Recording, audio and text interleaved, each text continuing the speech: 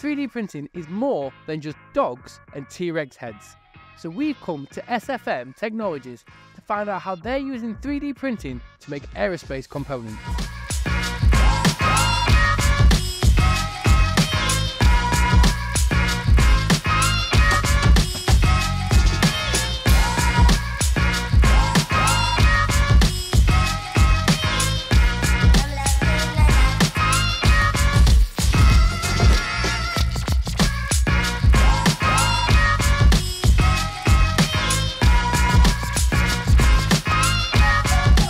So, Gary, can you introduce yourself and SFM Technologies? Gary Wilson. I'm the uh, technical sales manager for the 3D printing side of SFM Technologies. We do a range of uh, facilities in the business, ranging right from design all the way through to manufacturing to painting and out of the door. So it's a one stop shop basically for a, a variety of industries, ranging from aerospace to agricultural. How did you get into 3D printing? Because obviously that's not where you started with the water jet and the laser cutting. 3D printing came about um, after a discussion with myself and uh, Richard, the managing director. He was interested in, in 3D, um, and I'd done some 3D printing in my previous role. Between us, we had this problem that we had to look at for a helicopter manufacturer. Between us, with the helicopter manufacturer, we came up with a design for a part of the helicopter that required us to do it in 3D. I'm George Konstantinidis, the Managing Director of Emvio Engineering, and we offer a variety of services to industry, as well as machine tools and 3D printers. When you come from the traditional manufacturing point of view, you need to have a skilled operator of a machine, whether it's a CAM programmer, a CAD programmer, and also then the time served operator or the tool maker to come and run it.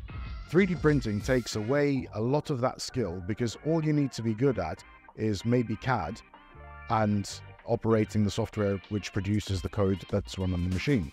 So, in effect, you could have somebody that's an apprentice being able to run the machine virtually unsupervised from day one. So, from a from a skills gap point of view, 3D printing can be slotted in into anywhere. So, whether you're a designer or even an apprentice, you can run the machine without having years and years of training, both from a safety aspect of, uh, point of view, but also on a quality of product point of view.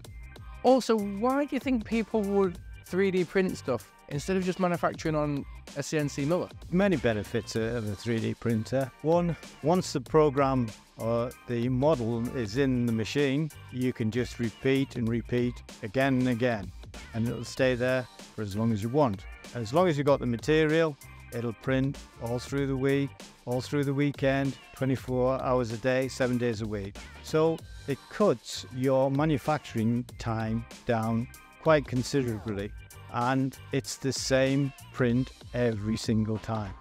We're seeing that 3D printing using the FDM method is actually starting to be adopted in places, for example, like the casting industry, where pattern making is a skill that is being eclipsed.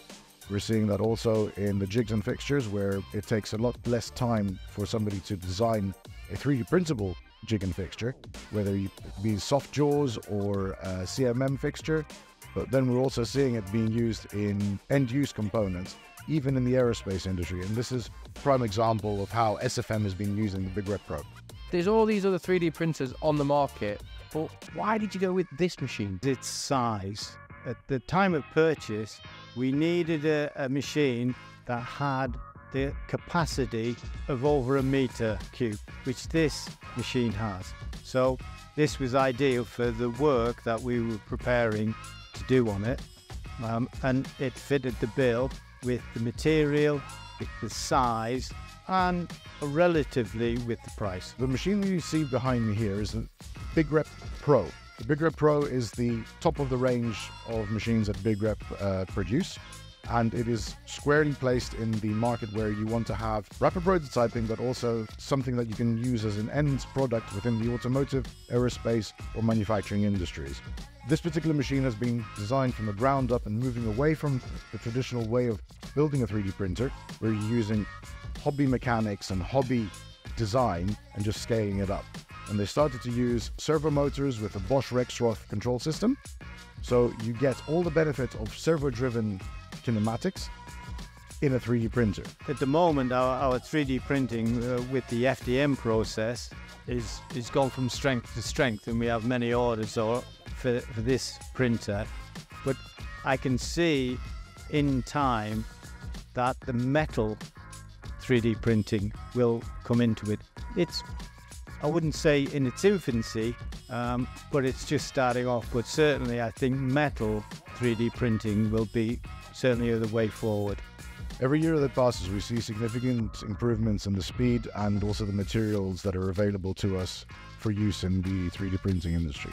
So, yes, there are a lot of things to be said about the metal industry, the metal 3D printing side of things, but there is definitely scope for most machine shops that are dealing with the traditional manufacturing methods to have a 3D printer to help them with all of the tasks that may take a bit too much time or too much cost doing it the traditional way.